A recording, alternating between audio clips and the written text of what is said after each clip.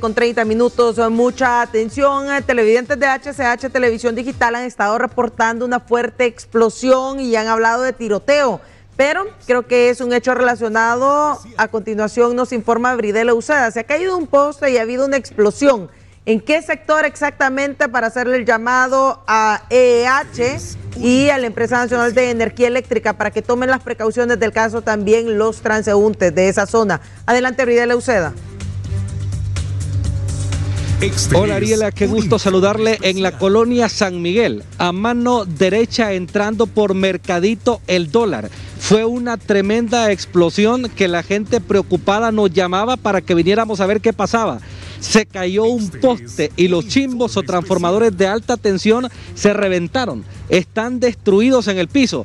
Aquí por lo menos toda la tarde van a estar sin energía eléctrica. Mire, el poste se partió a la mitad, sin explicación alguna todos los cables de alta tensión tirados en el piso y nadie ha venido a hacer nada. Esto probablemente represente un peligro porque tienen corriente. Vea todos los transformadores como han quedado, dos transformadores o chimbos, uno grande y uno pequeño, completamente reventados en el piso.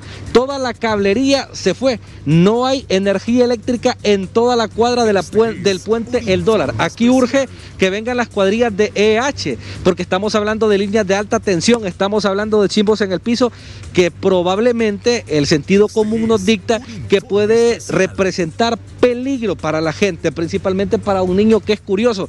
Se pide a los conductores, por favor, que tengan mucha precaución ya que hay cables de energía eléctrica de alta tensión, repito, en el piso y que los mismos pues pueden ocasionar o causar un problema grave. Tenga mucha precaución, empresa energía Honduras, a mano derecha entrando por Mercadito El Dólar, Colonia San Miguel, aquí urge que venga un técnico para que pueda restablecer el fluido en primer lugar y en segundo lugar para que vea si realmente los transformadores están generando corriente y representan peligro. En las casas no hay corriente, pero eso solo un electricista puede saber si esos chimbos tienen o no y pueden ser peligrosos. Por eso es importante que venga para este caso un experto.